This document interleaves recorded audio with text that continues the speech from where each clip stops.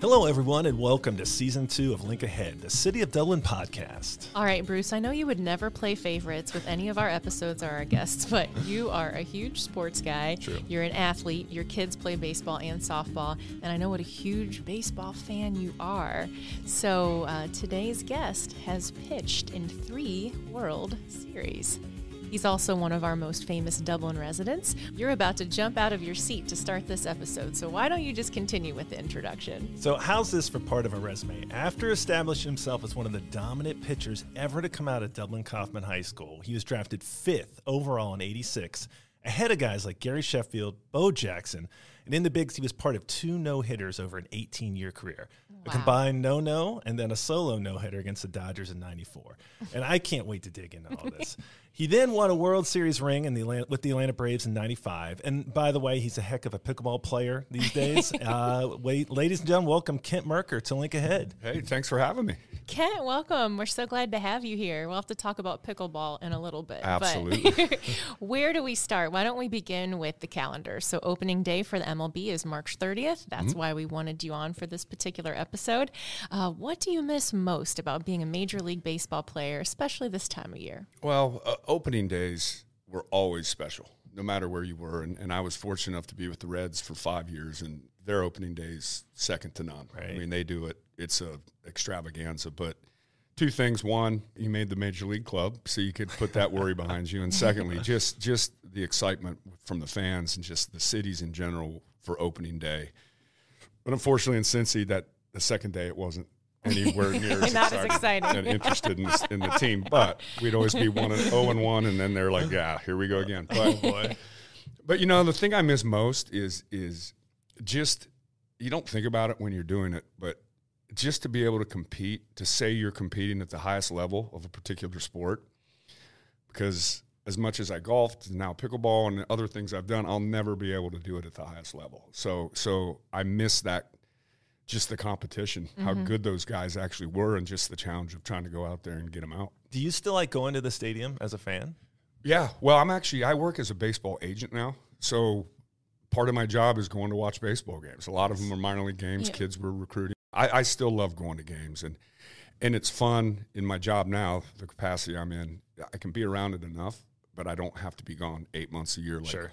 when you're playing. So I can still see my family that's all grown up and old now, but uh, I, I kind of have some time of my own to do to do it to play pickleball every day, things like that. And uh, but yeah, it's I still love the game. The I mean, rules it- the rules are getting a little weird on me, but Oh, all right. So I have to. What's going to be a bigger impact in this season? The no shift or the pitch clock? I think no shift. Okay. I think that's gonna. Which I, listen, I don't care if you can shift. I mean, guys are big enough; they're at the, are good enough at that level. They should be able to hit it the other way. But I think that's going to be make a bigger impact for a lot of left-handed pull power hitters that that hit balls, hard ground balls that the second baseman's playing in right field. But the pitch clock, I've seen, I've already seen. I don't know if you saw Max Scherzer take Yep, advantage I of saw it. and that's what guys are going to start doing. And and it's within the rules, and it's I think an unintended consequence.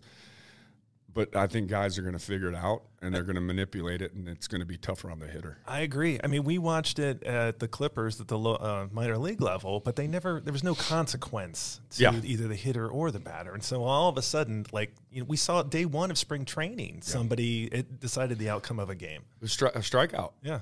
Yeah, it was uh, one of the Braves hitters. Right. Yeah, and he's sitting up there, we're ready to go hit, and the umpire calls him out. I'm like, Right. I mean, if I'm pitching there, I'm fired up, obviously. Right. But, that's just not the way the game was intended to be played. No, no, no. And it's like if you're a baseball purist, you're not looking for uh, like somebody asked me. I remember I had a kid one time asked me that I was coaching. He's like, "When's the game over?" I go, "That's the beauty of baseball. You don't know when the game is over. We're here till it's finished." Yep. Well, you were born in Dublin, and we mentioned in your days at Coffman High School, you played baseball in every city imaginable and could have retired anywhere in the world. Uh, so, why did you come back to, to Dublin here? You know, I, I love it here. Like I said, I've been here forever, and and I've watched this city grow up. I mean, I, I think I had 210 in my graduating class Oh, wow. Wow. in '86, and In one high school. in one high school. Yeah. Well, people still ask me which one I went to. I'm like, man, I'm 55. there, there wasn't even a there were there were four policemen, I think, or six policemen That's in- so on the fourth. But you know what? We always maintained a home here. My daughters, well, my oldest was born in Atlanta when I was playing there, but my other two were born here at Riverside, and and all my family's here. My wife's family's here. So it was just it was for my family. If I got traded or if I was on a long road trip, they always had some place to call home where they had people around them that they knew. And it just I, I just love the city. I mean, schools are great. I mean, just everything about this city is is is outstanding, and it's it's a perfect place to retire, raise a family, and then retire. Right. So let's stay on the topic of this city. So, you know, we have some of the nicest pickleball courts around, and they're just a few hundred feet away from where we're recording right now at City Hall. so, you just took up pickleball like three or four years ago, and you've already played in the U.S. Open in Florida. What is it about the sport you like so much, and what translates from baseball to pickleball? Well, one, the competitiveness translates, Okay. but uh, what drew me to it, a buddy of mine that actually opened the Pickle Shack up in Delaware, asked me to play it one day three and a half years ago, and I'm like, I've never even heard of this. so I Google it, and of course, the the default video is for 75 year old people at the villages At the village. playing it, and you're like, never. I'm not playing that. I mean, what, what's the point? And then he sends me another video. I'm like, oh wow, okay. And I never played. I've never played paddle sports or racket sports growing up, so I wasn't very good. I, I, I had decent hand-eye coordination. I was still kind of quick, but I was getting beat up by people that I'm looking at, going, "No way, am I losing at this?" It's the great equalizer. And I never said it out loud, maybe four times, but and I said I want to get good at this, and it was just a challenge for me. So, and now it's a great way. Like I was talking to you guys earlier, get up early, get up, get a sweat, Yeah. compete, listen to some music, have fun, and then get your day going. So, but it's the most addicting sport I've ever played. it, it truly is, and I can't explain it. And, and there's something I haven't gotten the pickleball keychain yet. I, I No. refuse to do that. Oh boy. I'm not getting the personalized plate that says "dink this" or whatever. I'm I'm not doing any of that, but I will play that game seven days a week. Oh, so you play seven days a week, and we we mentioned uh, we have courts right here next Yes. to City Hall. So where do you play? Uh, I've played here a Played lot, there? and, Yeah. and they've done such a good job. And and I've heard that they might build more. Mm-hmm. They left room across to build more, and I think they're going to need it. Mm-hmm. But to offer this, and, and for Dublin to be what I would call, because I've been to a lot of other cities with my travel, and and they're just catching up to pickleball. Mm-hmm. So for Dublin to get out in front of it and, and kind of pioneer it, if you will, and they're quality courts. They're dedicated. They're they're not lined for tennis and then painted lines. Right. I mean, they're dedicated courts, and they, they've done a f- fabulous job with those courts. Baseball's over 100 years old. So, are you shocked by how fast pickleball has just dominated? No, I, I mean I'm shocked, but I get it. I don't understand it, but I'm not shocked. I mean, I think three years ago when I started, they said there was three million people playing. yeah. Now there's like eight, and they predict in four or five years there'll be 40 million people in the country playing pickleball. That's crazy. Now, It'll it'll be more than golf. That's Lindsay is a tennis player, so her transition to pickleball was not seamless. When you go to swing at a pickleball, you have the short short paddle and a ball that doesn't bounce. So there was a lot of whiffing going on, and Well, Bruce, and you Bruce can't got spin to it witness either. it. Yeah, it's completely different. So. Well, I've played with a lot of p- former tennis players, like D1 college type players and all that, and they basically said it's it's for people that can't pickleball's for people that aren't good enough to play tennis. Yeah. And that may say be true because I never played tennis, but but they fought it, and then the ones that finally came over to the dark side, now they're playing every day, and they love it. All right, last pickleball question, then we'll move back. No, to let's make this all about pickle. Who cares about baseball? We talk. So, do you play singles or doubles? I mostly play doubles. Mostly Yeah. doubles. Okay. I'll play. I don't have the, the technique yet and the skills. I need a better backhand to play singles. I can move good enough, and at 55, I can get in that older age group There you go. and hopefully just outlast them. But uh, no, I usually play doubles with a better partner, and I Yeah. just kind of stay out of the way and let them do their thing. that works. Okay, well, let's bring it back to baseball as opening day is upon us. Uh, we got to ask who is going to be good this year, and how do you think the Reds and the Guardians look? Well, I think, I mean, perennially, you know, the Dodgers are going to be there. The Astros are going to be there. Uh, the Mets spent four hundred and sixty-seven million dollars. You would think they would be there. They just lost their closer, celebrating in the That's right. WBC. The Yankees will obviously be competitive. Um, those are probably the top four. and as far as the Reds, listen, I, I like the team. I mean, it's it's it's similar to Cleveland. There's a lot of names on offense that aren't household names. Right. There's one or two, like Joey Votto, obviously, and but they've got Cleveland always pitches. Right. They always figure out a way to just be competitive on the mound, and if you can do that, that gives you a chance every year mm-hmm. to compete. The Reds, they've got three really good young pitchers with potential. I say, with Hunter Greene and the Lodolo, Nick Lodolo, and then Brandon Williamson. I mean, with those three guys, as young as they are, if they figure it out, same thing, and they've got a good enough bullpen that they can they can compete every night, which a lot of teams can't say that. So, but they've got that core young pitching. They've got enough offense. It's just a matter of going out and being consistent. All right. Speaking of marks on the calendar, on April 8th of this year, it'll be 29th anniversary of your no, no, no, no against the Dodgers. Now, take us back to that game. Um, I'm not sure. Like, I'll talk to my son. I, I fell asleep in the fifth inning, so go ahead. That's not true at all. Not true at all. Take us back. All right. So you're playing the Dodgers, and you just mentioned the Dodgers. They've always been a contender in baseball. Mm-hmm. Like, it- was there what was what was it like that day? Was it something different? I mean, did you feel it? No, you know what? It, it, it was. We opened up. It was my first game out of spring training, which would never happen today because they don't let kids go past Right. seventy-five Yeah, yeah, pitches. And God forbid you get to hundred, right? And they call the SWAT team on you. But, uh, we opened up. We had four in San Diego.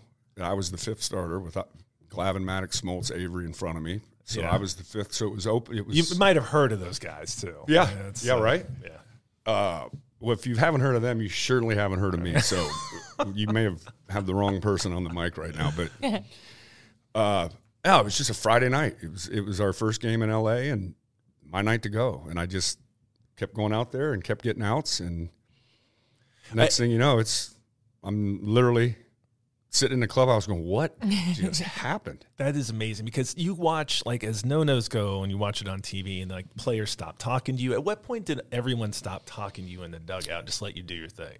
I was almost the anti-superstition, superstitious guy. Okay. So I said, guys, I know what's going on. After like the fifth inning, I said, I know what's going on.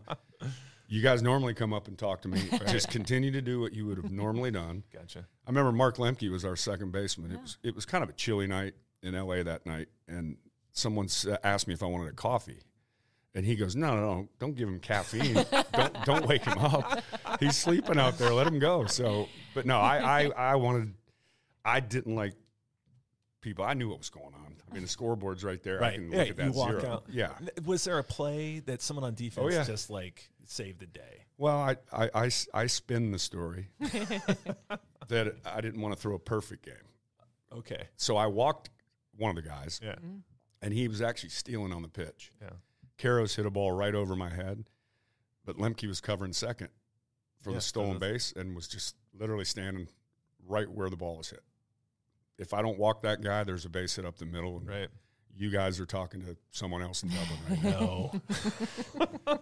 Well, you've told a story, and it's a great one, where you may be the only MLB pitcher in history to throw a no no and then not make your next start. Yeah, so same night, Friday, April 8th, 1994, you know, I do all the interviews and local media, our media from WTBS and Atlanta. And so after everything settles down, guys are showered, ready to get on the bus. Bobby calls me, and Bobby Cox, our manager, calls me into his office. And he says, Hey, man, great game. You know, wow, fun to watch this and that. But he goes, We have an off day Monday, and I'm going to keep the other four guys on their normal day. So we're going to skip you. and I was like, Me? at least he waited 40 minutes Oh my god. and didn't tell me like during the high fives off the field. But yeah, and I just said, you know what? And, and I, I tell that story to people that play currently, and they're like, man, what did you tell him? You know, screw that. da, da." I said, I was Bobby Cox. No. Because I said, if I would have said, I think I've earned the right to pitch in five days, he would have called our traveling secretary in there, Bill Acree, and he would have said, hey, get Merck a flight down to Richmond. Oh my goodness. Triple A, he wants to pitch on Wednesday. Wow.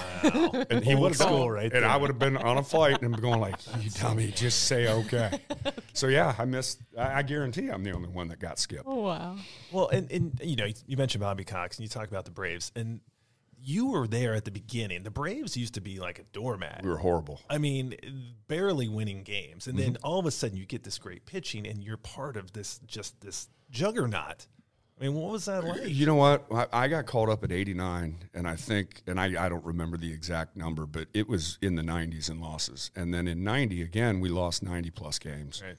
But it was me and Ave and Smoltz and Glav and Pete Smith and Lemke and all the guys we grew up with in the minor leagues. We just kind of moved up together. Yeah. So we knew each other, right? And we knew, I mean, on and off the field, it, it was it was just a tight knit family type atmosphere. And then the beautiful beautiful thing, and what doesn't happen today, is Bobby allowed us to fail at the big league level and not worry about losing our jobs. Wow. Where hey, go figure it out. Right. You're one of our guys. That's why we drafted you to where we did, and Smoltzy and Abe. Those are all first round, second round picks. Like, mm-hmm. figure it out because we're building. We want you to be part of this. Need you to. So we didn't have the pressure. It's already enough pressure facing some of the hitters we had to face, but Oh yeah. to also worry about getting sent down because you two bad games and now you're in AAA. right. It, he allowed us and gave us the confidence to go out there and trusted us to to win on the job or to learn on the job. Which today it's more transactional. Oh sure. What are you doing Yeah, for me right now? Because we need to win because we've got this much in the payroll and our owners want. It's a di- different atmosphere, and it's a great atmosphere. Today, don't Right. get me wrong, but we were just given the opportunity to learn on the job.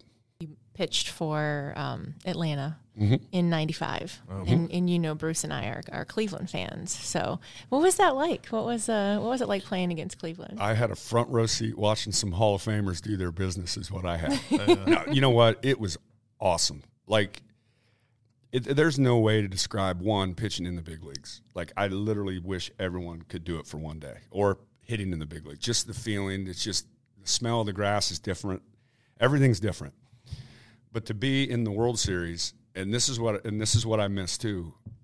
We were talking about this a couple months ago with with some guys I work with, but to know that like when I was pitching in that World Series, if anyone watched baseball, there was no other game on the planet on. Right. They didn't Japanese leagues over Mexico.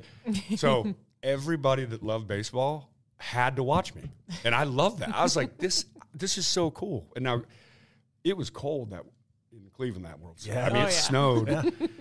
But I'll tell you what, I, I look back at that lineup and Oh, the nineties. Oh. Oh, my So great. goodness. that's the best lineup They had I mean, I get the big red machine. No, no offense to them, but I would hard rival to find a better lineup one through nine. Sandy Alomar Jr. Oh. hit eighth in that lineup. Right. Cleveland, Eighth. they had f- five guys that hit over 300. You're lucky to get one guy that hits over 300 on a team Yeah. now. Well, you Kenny Lo- and Kenny Lofton, Oh. fringe Hall of Famer, right? Right. I think uh, Omar, Omar Vizquel Vizquel. should be a Hall of She Famer. should be a Sure. Hall of Famer. Then you got Uh, oh, it was uh, Carlos Baerga. right. Then you got Albert Belle. Then you had Manny Ramirez. Then you had Jim Thome. then you had Eddie Murray. Yeah. Then you had Sandy Alomar Jr. And then the ninth guy was Paul Sorrento. Sorrento, or if it was a righty pitching it, or a lefty pitching, it was. Um, My, oh, that's when Murray may have been in there. Yep. But it's like there was no, and all of them had 30 home runs, Right. 100 RBIs, stolen base. They could do everything. if you would have been pitching for Cleveland, then they would we have would have won. won. Uh, they needed. That's what they needed. They needed somebody else, another arm in there. No, they needed Maddux or Glavine or Smoltz to No, pitch for them. needed That you. would, and they had a great rotation. Athletes always say to, to get to the top, it's more mental than physical, and pitching is is more mental, right? 100%. Okay. It is. I mean, and, and again, I'm working with younger kids now in my job, and and it's easier because I have the the uh, perspective now, having been that age, and then pitching until I was 40 in the big leagues, and now being old. I wish I could have done some things different young that I didn't do, Sure. and it's all about the mental side. Guys, guys that get to the big leagues are good.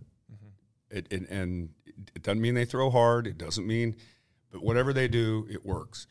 And we always say stuff will get you there.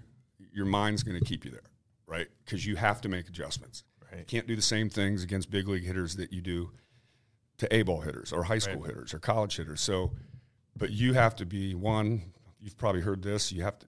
It's a game of amnesia. You got to mm-hmm. forget what happened the day before, Yep. good or bad. Just forget it. And I always played with with the for the mental side. What helped me is, and I forget who told me this young in my career, early in my career, is you're never as good as you think you are, but you're never as bad as you think you are. Figure out somewhere Yeah. you're just somewhere in between, and then you don't start riding these Right. highs and lows, the Right. crest and the trials of of because it's a long season, and if you start getting too think you're too good, you're going to get Someone will figure someone's going to knock you down, and if you think you're horrible, you know that's tough to deal with. So, um, yeah, that mental side. If if you can just trust what you do, mm-hmm. and say I'm here for a reason. I don't need to change anything I did in, that I was doing in AAA. That's why I'm here. Right.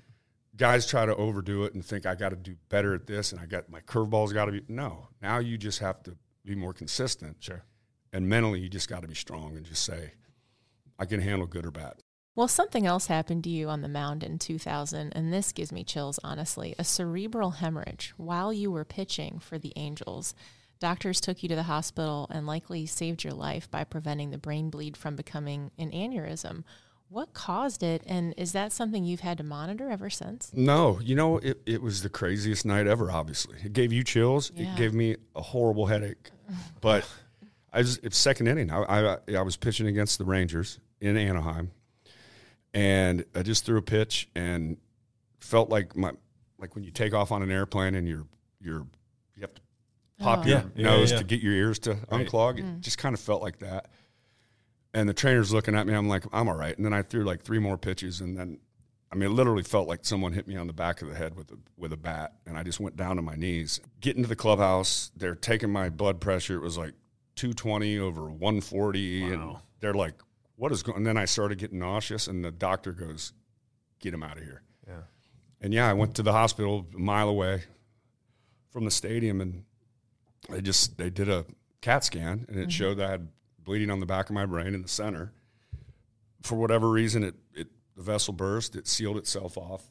I didn't have an aneurysm or an AVM, which is a whole nother thing. But for whatever reason, they said it was hypertensive. You just blood pressure got real high for some reason, and a vessel that was weak bursted. Wow. Wow. So I spent 12 days in the hospital, gained like 17 pounds because they had me on prednisone for swelling, and I was oh, just like, whatever. And but yeah, it was. It, you know what? I'd like to say it was scarier than it was, but Right. I didn't know what was going on. Sure. Right. Had Yeah, you told me it was going to mm-hmm. happen tonight, and it happened, I would have been scared. Mm-hmm. But Right. I, I didn't know it was going. I thought I'm fine. I'm 30 years old, I think at the time, or 31. I'm like, this is nothing. Yeah. And then they tell me the next day, like, dude, you're lucky. And I'm like, really? And they're like, well, you never know with these. You have, if it's an aneurysm, you got like four hours to fix it. Right. So, yeah. And the doctor, I- he looked like Albert Einstein. His hair. That's who I was picturing. That's what you want, though. That's who I was picturing. Oh, it, it, but but it was just boof. Like, and I'm like, really? He, he didn't look qualified. Is what I'm saying. I was like, dude, I know it's late, but where's the A team? Can we get no? But he, they were great. And they actually, that doctor told me to never play again. Wow. He goes, I wouldn't risk it. So I went to a younger doctor at USC that did another angiogram where they inject the dye in your brain and all that. And he's like, there's no reason you can't play again. So that was 2000. I made it eight years after that. But yeah, it was a, it was an interest. And my family wasn't out there yet. Oh, they were still all here. They were watching on oh, television. I can't imagine Oh what they my were God. thinking. Well, and, and and they're like, "Yeah, it doesn't look right." Like, like that's not. He's acting funny, and I'm just like, "Yeah, I'm on both knees, like holding my head. I, I don't know what was going on, but Oh my god. fortunately, I'm I'm depending on who you're asking. I made it through, and it was another experience and a lesson and a life lesson, and I mean, and that's where, like, you know, a, a sore arm, a torn ACL. What did you learn from that that whole experience? you know what? I, I never took the game for granted ever. Yeah. And that taught me that for one. And two, just honestly how important your teammates are. I mean, they came and visited me every day uh, when my family wasn't there yet. And it just, you kind of put things in, in perspective a little more. Like, Sure. this is a game, it's a great game. It, if I wish any everyone could do it, but it's not as important as your family, Right. your friends, and you know, if that was it for me, great. You know, I would have had more years to spend with my kids watching them play softball and volleyball and doing their thing when I was gone doing it for myself. But fortunately, it just it it it happened and it went away. They said it was like you got struck by lightning. Wow. That's that's about the odds. Wow. I was actually the first case study on that. They had not had any professional athlete because they were asking me like, "Hey, do you mind signing off and we can use you?" And I'm like, Yeah. "Yeah, you can te- teach about me in college." I Do you guess get I never for went. that the or Mercker anything? method. No, I need an NIL deal for that. Looking back, Oh, well, I'm sure parents come up to you all the time and say, "Hey, my kid can really hum a fastball," or you know, "My kid wants to play in the bigs like you did." What's your best advice for both young players and their parents on how hard to push their kids? well, first for the kids, I, I, I to this day would would still encourage kids to play more than one sport. Yeah. personally. I, I think I won't get off on a tangent on injuries in baseball and, and Tommy Johns and all that, but I think because kids are playing it 12 months a year, they're not, Right. it's repetitive damage to your arm or trauma, right? So you need to take time, cross train. I played basketball, football, baseball uh, up until my sophomore year. Then my dad, some scout told my dad not to let me play football anymore. But I would just encourage him to keep trying stuff and and have fun with it. Work hard, be the good teammate, but have fun with it. Right. And and and, and I've seen it. My my dad when he when I got home, he worked and he didn't get to go to all my games in high school. The first question was, "Did you finish your homework?" Yeah. And I'm like, "Yeah, okay. Well, how'd you pick?" Eh, eh, he- he- but keep things in perspective. That's great. 99.9% of the kids that are playing at Dublin High School, any one of them right now, aren't going to, won't play in college. Right. And then the ones that do, 99.9% of those won't play above that level. Right. Have fun with it. If, if you're lucky enough, like I was, because I worked hard, I was blessed with a good left arm, just have fun. Mm-hmm. Because if you want to be in the big leagues, it is a business. So don't make it a business when you're 10, 11, 12. Yep. And moms and dads, it's the same thing. We all want our kid to be the next LeBron or the next Olga Korbut or the next, you know, Serena Williams Right. or Barry Bonds. Probably not going to happen. Don't discourage them, Right. but don't tell them they're going to be, right? Tell them try to be, Yeah. and just that'll keep you hungrier. They'll work harder, and then the parents can relax a little bit. I had a buddy ask me if I would ever coach, go back and coach Dublin High School, Yeah. and the, the parents listen to this, I hope. so. and I We said the so. only place I would coach is at an orphanage Oh. where there's no parents around. Oh, I, I agree. It's like parents are the Uh, uh, ones dude- that that. Dude, that- my girl's moms were, she's just as guilty as screaming and yelling. I'm like, no, stop, stop. I'd go down the left field line and just Yep. be like, I'm get, I can't do it. right. Yeah, just have, to kids have to have fun Yeah. and play a bunch of stuff. All right, so Kent, we have a tradition here on Link Ahead to finish each episode asking rapid fire questions to our guests. So we know you're more than ready for this. So let's just jump in. What visiting MLB stadium was the loudest to play in? uh, the Metrodome. When we played in the 91 World Series there, it was unbearable. And then sitting in the bullpen, they're literally right here. Yeah. It's the loudest. I think they said it was louder, decibel wise, it was louder than a 747 at takeoff. Oh, Oh my, my gosh. Wow. yeah. All right. If you had to pick three guys you really like striking out, who were they? Barry Bonds. I got Tony Gwynn once, which was that's kind That's of my impossible. bucket. That's Like, my bucket list. and probably Chipper Jones. Wow. Just because I played with him and it was one of those got you type Yeah, yeah, yeah. things. Now let's flip it. Which three guys did you really hate pitching to? Oh, Scott Rolen, Jeff Kent, who you guys, if you're Indian fans, probably remember, who should be in the Hall of Fame, by the way. Uh, there's so many. How could I just limit it to one more? There's like 428 more guys I could list right now. Uh, you know what? Probably uh, Edgar Martinez Yeah. With the Mariners. Oh yeah. Yeah. Solid Could hit hitter. the same fastball three different play. He could hit the same fastball to left, right, or right up the middle. You played for some really great managers too. So, above all else, a great baseball coach or manager is is consistent, supportive, and simple.